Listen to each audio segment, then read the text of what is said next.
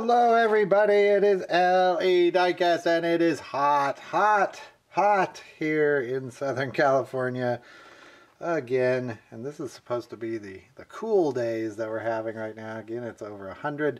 But we're going to be taking a look at the Heritage Series. Now this is the second run of these. Uh, I don't know how many of these are going to make, to tell you the truth. Maybe they're coming out once a quarter, maybe. There are six cars in the second run, or sorry, eight cars in the second run here. There they are. I believe these are only available at Target. There is your information.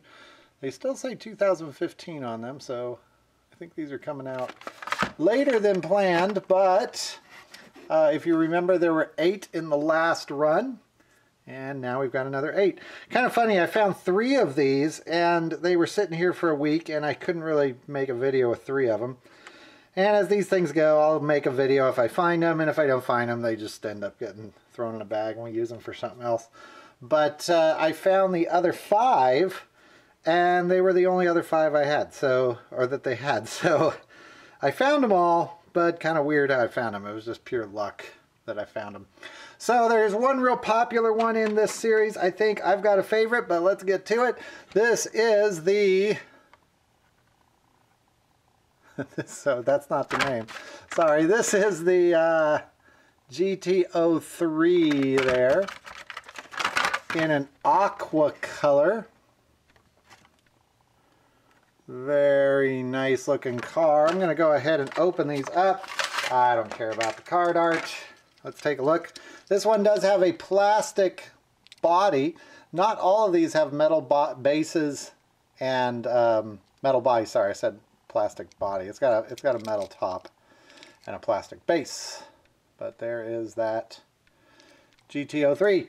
Very nice looking car. Next up is the power panel. This is one of my favorite castings.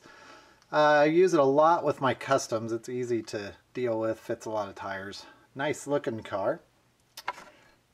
This is not my favorite of the group, and it is not my favorite of the power panels. But there is the power panel. I like the card art on these. They really stand out on the shelves. They look very retro. Uh, we'll take a look at the back, but these are based off of the older cars. Uh, what's that say? Power panel on it. There you go. Same on the other side. That's the power panel. You can see on the back these are cool toys inspired by Hot Wheels heritage of speed, power, performance, and fun. And I don't even remember the story of these. They, they were the cars that were put out in a certain year, I think, if I remember right. Here is probably what is going to be the most popular one. That is the Bone Shaker, and I do like this Bone Shaker quite a bit. That is pretty nice. There's the card art for it. Let's see what it looks like.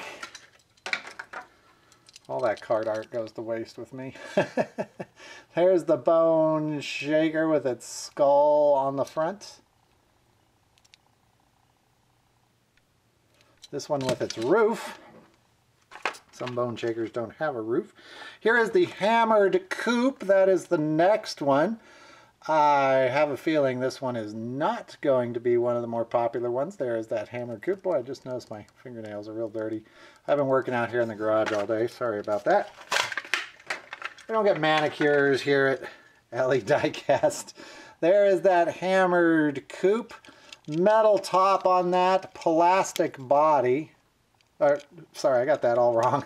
Metal top, metal base. Get it right. By the way, I didn't tell you uh, the uh, Bone Shaker. It has a plastic base and a metal body. And the um, power panel has a plastic red base and a metal body. Okay, next up is the 80s Corvette. There he is. That one's probably going to be pretty popular. The 80s Corvette is a popular one. This one's really a nice one. It's got a lot of tampos on it, a lot of, a lot of livery, livery. This one does have the little uh, uh, I just went brain dead. It does. It has that thing in the back. It's also got a fingerprint in the back. There's the 80s Corvette. Very nice. 1984. Now, is that the year that we were uh, chasing after here, 1984? I really don't remember. This one has a metal base and a metal top. Next up is the Baja Beetle. Now this is probably my favorite of the group. Whoops. Whoops. There is the Baja Beetle. Pretty sure that is going to be a metal base, metal body. I really like this one. That one might be my favorite.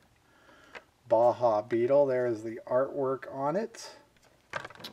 Let's take a look at the Baja Beetle.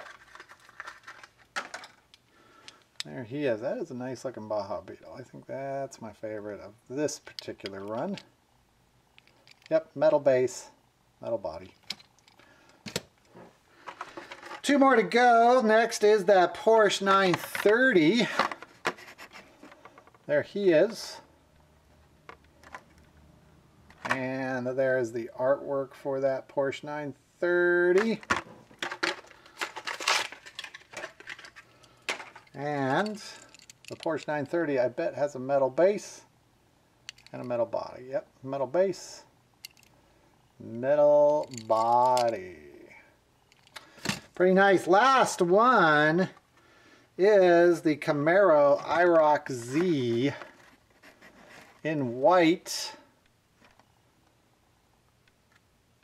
There is its artwork. Take a look at that one. I bet it has a metal base, metal body as well. It does.